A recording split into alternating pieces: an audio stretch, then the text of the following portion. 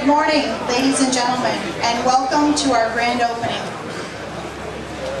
My name is Kimberley Kroslak, and I am a member of the management team here at Great Northern and Soave Hydroponics.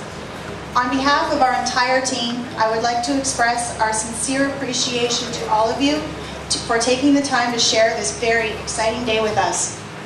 At this time, I would like to invite Mr. Guido Van Het Hof, President and General Manager of Great Northern and Soave Hydroponics, to the stage.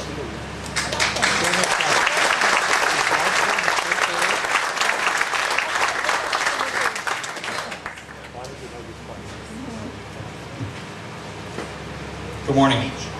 Thank you very much, Kimberly. Welcome, honored guests. Thank you for attending in such great quantities today uh, to this joyful event where we would like to officially open our energy facility. Ladies and gentlemen, today we're glad to welcome you to our latest edition to our agricultural activities here in Ontario.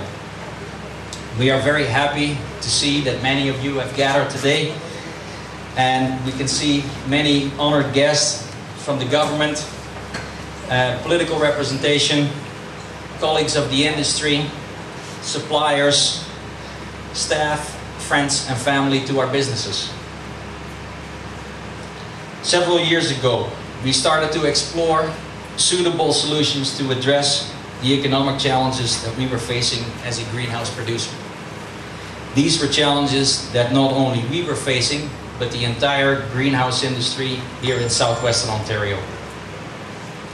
The substantial economic pressures were the increased production coming from climatologic advantageous areas like Mexico and the southern US. On top of that, we saw a big increase in the cost of energy and fuel. And as a result of all that, we also saw an increase in the cost of our supplies.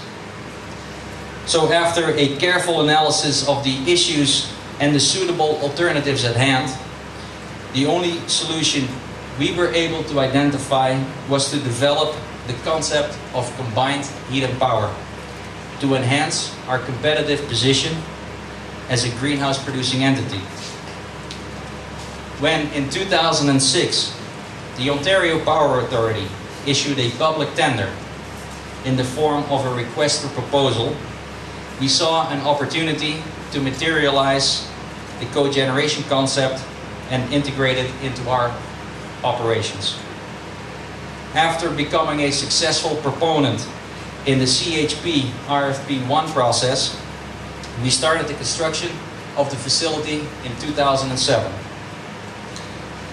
We're using four reciprocating GE gas engines that combined produce a 12, an amount of 12 megawatts of reliable and flexible electricity to the electrical grid. During the process of generating electricity with natural gas-fired engines, we also produce two byproducts. One, heat, the second one is CO2.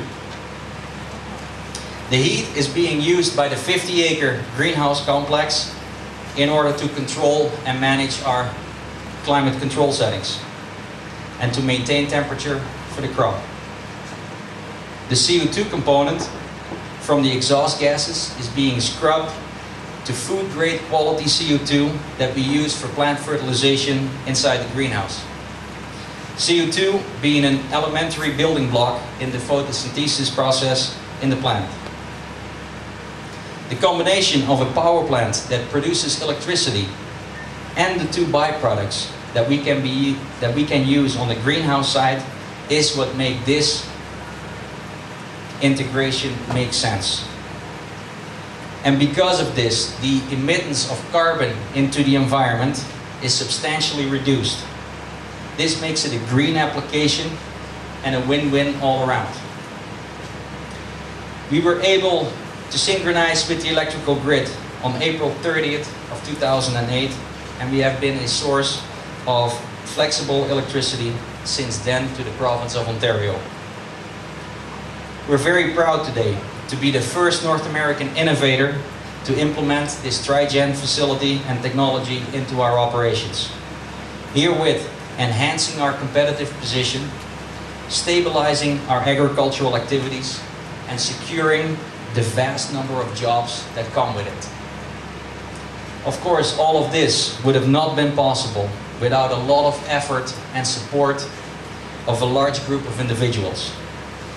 Therefore, I would like to take the time and express our sincere thanks, first of all, to the project group, which were Ontario Power Authority, Aird and Berlis, in the person of Scott Stoll and Sam Billard, our regulatory lawyers, uh, Mr. Darren Didichuk, key component in the project team, DDA's GE Jenbacher distributor for Canada, in the person of Jan Buick, he's vice president and general manager, GE Jenbacher and their center of excellence from the Netherlands, in the person of Piet Rijn, general manager, Dick Kramp, commercial project leader, and Mark Gelijn, project coordinator.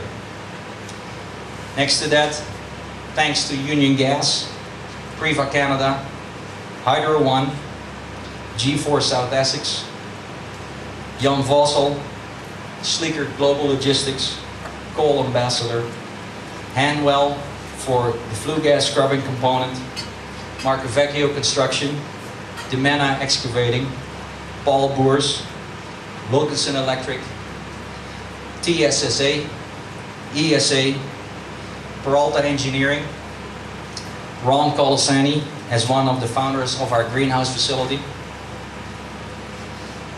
And next to that, a special thanks goes to the Honorable Mr. Dalton McGuinty, the Premier of Ontario, for his visit and his support to the facility. The Honorable Mr. George Smitherman, Minister of Energy. Honorable Mr. Duncan, Minister of Finance and the former Minister of Energy. The Honorable Ms. Dombrowsky, Minister of Agriculture. Honorable Mr. George Garrick, the Deputy Minister of Agriculture. Mr. Jeff Watson, MPP. Mr. Bruce Crozier, a very, very familiar face lately to, uh, to the facility. And thank you for fa- facilitating all the visits and all the wonderful things you've done for us. Um, town of Kingsville and its mayor and warden of Essex County, Mr. Nelson Santos. And a warm thank you for making all of this possible to materialize this idea. Our principal and owner, Mr. Anthony Soave, Executive Vice President for the Soave Group, Mr. Yale Levin, the staff and the management team for Great Northern and Masco Farms. And then now I would like to invite Mr. Bruce Crozier to say something.